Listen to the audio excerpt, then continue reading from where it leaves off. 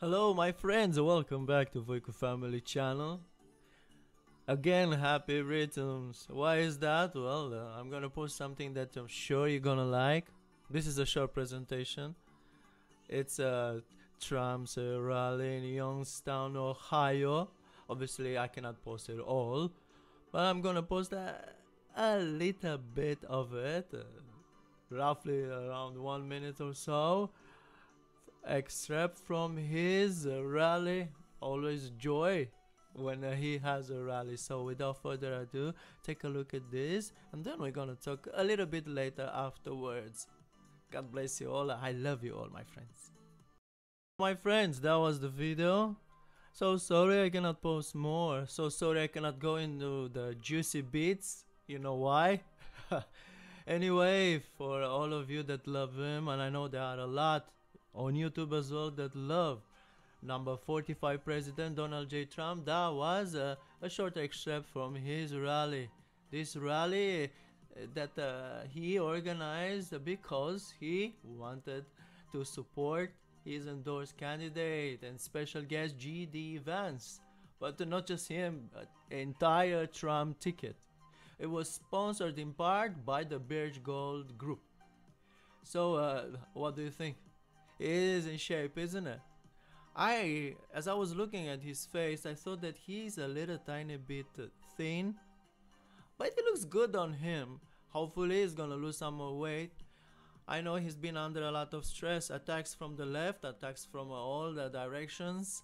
I was about to say attacks from the right, but no, over 90 plus percent of the right are with him.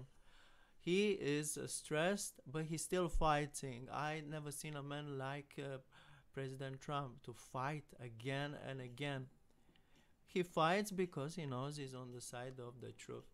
And uh, they are afraid of him. That's why they send all the heavy machinery, FBI, DOJ, everyone is uh, after him. Everyone is after those that are with him. Now it's not just him anymore. Just like President Trump was saying, now everyone that supports him everyone that uh, thinks uh, make america great again is the thing to do are targets. This is biden's america. I pray and i know that god is listening to the prayers of those that uh, have their heart filled with love they do not hate.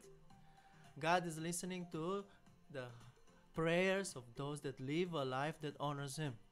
So uh, if you honor God, my friend, you have nothing to be afraid of because uh, God Himself will fight your battles.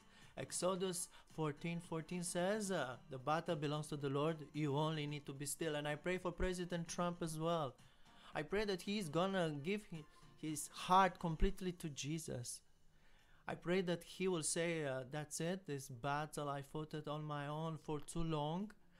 I need God and when God takes over, then uh, everything will be different. Then uh, righteousness and holiness will come along.